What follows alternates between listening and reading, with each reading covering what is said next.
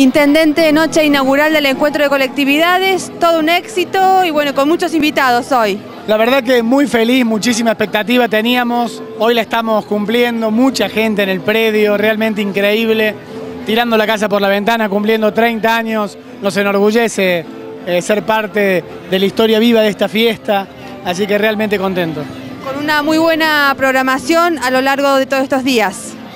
Muy linda programación en el escenario mayor, mucho esfuerzo por, cada por parte de cada una de las colectividades, lindísimas propuestas de danza, de baile. Realmente creo que si el clima nos acompaña, Dios quiere, vamos a tener uno de los mejores encuentros de colectividades. Va a ser multitudinario seguramente.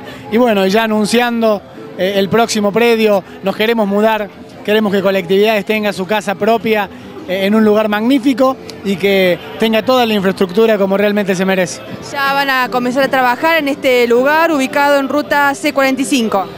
El día 6 de febrero comenzamos a mudarnos y a llevar adelante las obras para nuestro nuevo predio.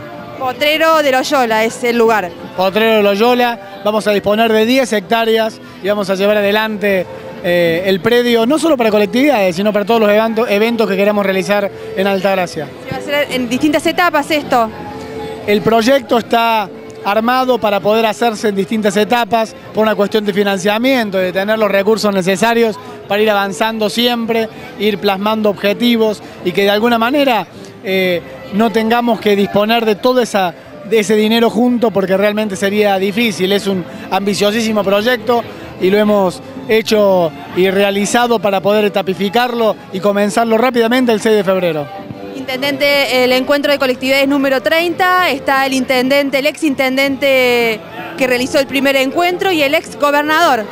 Así es, nos vienen a acompañar, la verdad que nos enorgullece eh, y bueno, van a pasar por las noches de colectividades seguramente grandes figuras y los esperamos con los brazos abiertos, con el corazón abierto. Altagracia está de fiesta y queremos que todos vengan, la conozcan, la disfruten y se enamoran. Gracias. No, gracias a ustedes.